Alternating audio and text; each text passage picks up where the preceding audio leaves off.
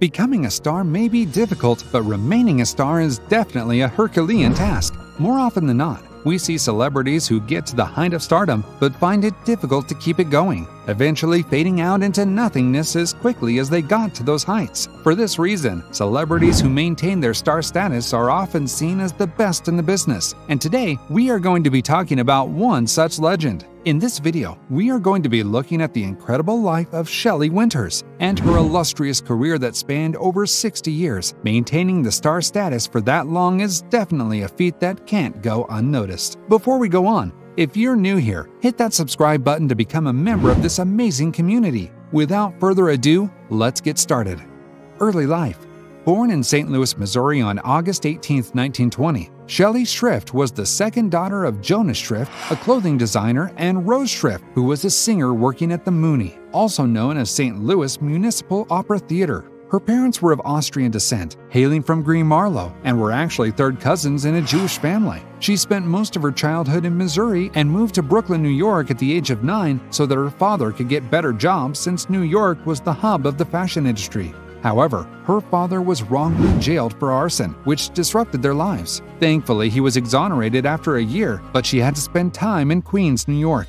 While in high school, she was already making extra income by participating in beauty contests, most of which she won by a wide margin. Her exotic European beauty was definitely a head turner, which gave her an unfair advantage in these contests. But all is fair in love, war, and beauty contests after all. She dropped out of high school to work as a model and soon became a local celebrity, featuring in local magazines and newspapers. At the age of 16, she moved to Los Angeles where she worked at the Circle Theater, now called El Centro Theater. The theater was run by her sister's husband, George Boroff, so it was easy getting a job. Shelley fell in love with acting and started taking acting classes, working as a store clerk, a model, and a chorine at a nightclub to pay for her expensive classes. Career Shelley's journey to stardom was, in fact, a tumultuous journey, mainly because of all the competition she was facing. Almost every girl wanted to be an actress during the golden ages of Hollywood. She made her first appearance in the Broadway comedy show titled The Night Before Christmas in 1941, followed by another role in Rosalinda in 1942. In both of these shows, she used the stage name Shelley Winter, taking her mother's maiden name. It was changed to Winters later in her career. Soon enough, she began pushing for a career in Hollywood and even got a few roles, but most of her roles were cut out of the main films, and the rest were just insignificant roles that barely got her any recognition. One would expect that someone as beautiful as she was would get a one way ticket to stardom, but the exposure she got didn't allow her to shine, even with all that beauty.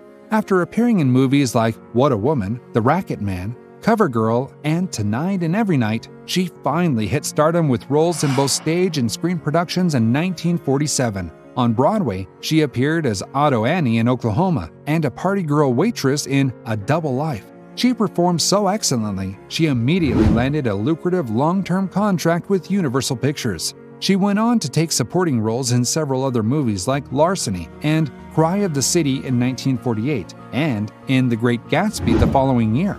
Following the amazing reviews, she instantly became very sought after and was instantly hit with a barrage of roles that had her appearing alongside some of the world's finest actors at the time. Her first Oscar nomination came for her role in A Place in the Sun in 1951. Her beauty was her main selling point, and that was what the production houses she worked with focused on, portraying her as a blonde bombshell. One of the producers even suggested that she get a nose job done so she can fit the billing perfectly, but she declined. She began to hate the image she was getting and returned to New York to take some more acting classes. She earned her spot in the famous actor's studio and at the Hollywood Studio Club after that. At one time, she shared a room with the famous Marilyn Monroe while at the Hollywood Studio Club. Upon her return to Hollywood, she completely changed the narrative and went from a blonde bombshell to a highly respected actress. She began to take international jobs and spent the most part of her later years traveling and making films in Europe. She also made a return to Broadway starring in A Hatful of Rain and Girls of Summer. Despite several nominations, she won her first Oscar award in 1960 for her supporting role as Mrs. Van Daan in The Diary of Anne Frank. After this, she went on to win another Best Supporting Actress Oscar in 1965, a Golden Globe Award in 1972, and a Primetime Emmy Award in 1964.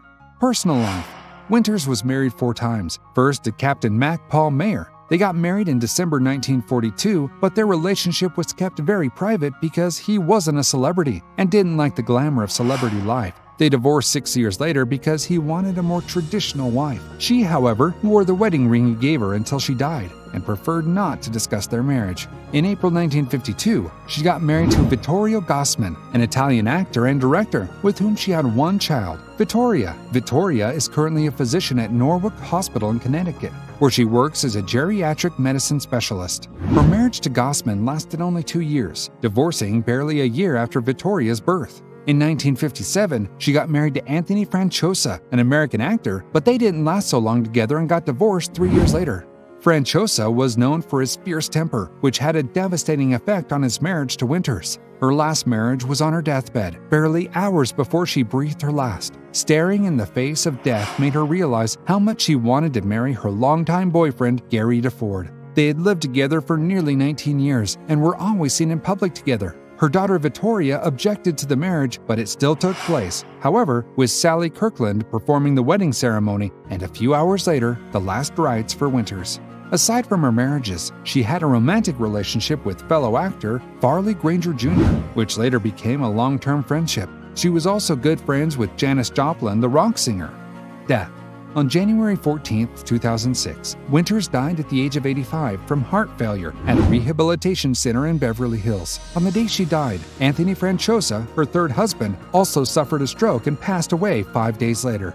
And that's all the time we have today. For more videos like this, make sure you're subscribed to this channel and stay tuned. Also, leave a like on this video and tell us what you think in the comments section. While you wait for a new video, check out our previous videos and remember to give them a thumbs up too.